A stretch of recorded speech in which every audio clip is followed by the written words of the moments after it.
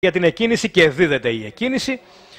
Και από τα πρώτα μέτρα για να δούμε ποιος θα οδηγήσει θέλει να οδηγήσει ο Ράπιντους το νούμερο 7 ο Μπέρνις μένει στη δεύτερη θέση. Θέλει να ανέβει και ο Compton Street πλασάρεται και αυτός κοντά. Ο Velvet Underground είναι στο κάγκελο έρχεται απ' έξω και ο Μπαβένο. Ο Compton Street περνάει μπροστά το νούμερο 3 ο Ράπιντους, ο Μπέρνιστ και ο Μπαβένο.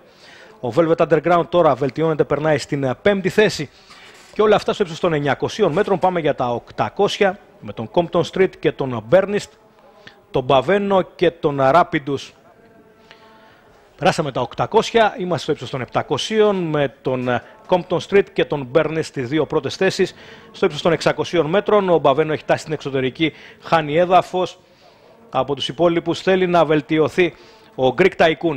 Και μπαίνουμε στην ευθεία όπου ο Compton Street προηγείται και ο Bernist είναι στην δεύτερη θέση. Compton Street και Bernist. Ο Compton Street που έχει πάρει μια διαφορά έναντι των υπολείπων. Ο Compton Street που παίρνει μεγάλη διαφορά. Και ο Compton Street δεν θα χάσει. Ο Compton Street λοιπόν έχει πάρει διαφορά, δεν θα χάσει. Αυτός θα πάρει την νίκη. Ο Rapidus είναι στην δεύτερη θέση. Ο Velvet Underground θα τερματίσει τρίτος και για να δούμε για την τέταρτη θέση θα μείνει.